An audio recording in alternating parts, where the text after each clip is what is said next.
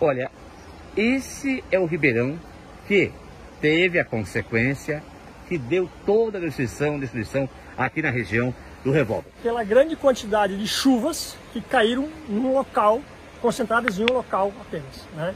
É, aqui atrás, nós temos um planalto, região como planalto, né, atrás dessas casas aqui.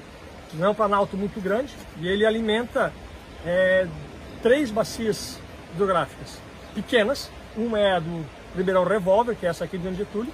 Outra que aconteceu também é algo parecido, nessa mesma proporção, no Ribeirão das Cobras, em Rio do Sul, e também no Ribeirão Areado, em Ibirão. Todos esses rios nascem aqui em cima nesse planalto. Sim. As nascentes são ali e essa água caiu nesse ponto onde se distribuiu para esses três, essas três bacias, micro bacias hidrográficas nessa região. E isso propriamente conhecido como tromba d'água, uma quantidade muito grande de água acumulada. Essas nuvens elas chegam a incríveis 15 quilômetros de altura. De altura. Nossa. Então é, um, é como se um funil e essa água acaba caindo toda em um, em um local muito concentrado. Foi esse, esse, local aqui que gera toda essa, essa destruição.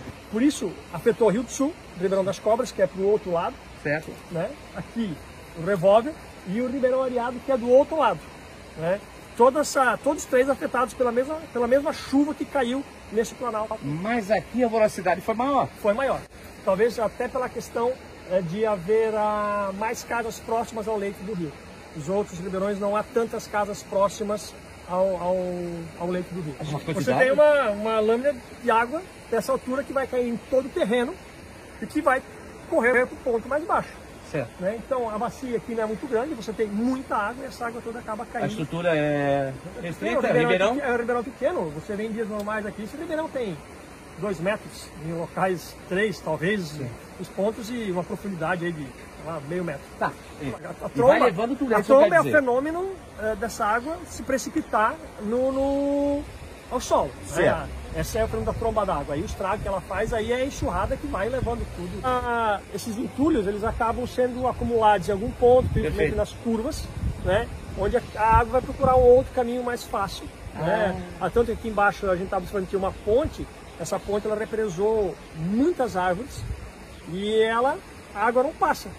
O nível subiu, a água saiu pela tangente onde acabou entrando para a rua e acabou.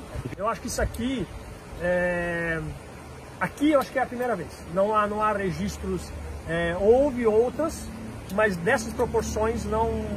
Creio que não há registros enquanto a colonização aqui na, na, na região. Reconstruir, sim, é possível, mas ah, você fazer algo a prever isso, ou você construir, seja lá o que for, isso uhum. é algo impensável.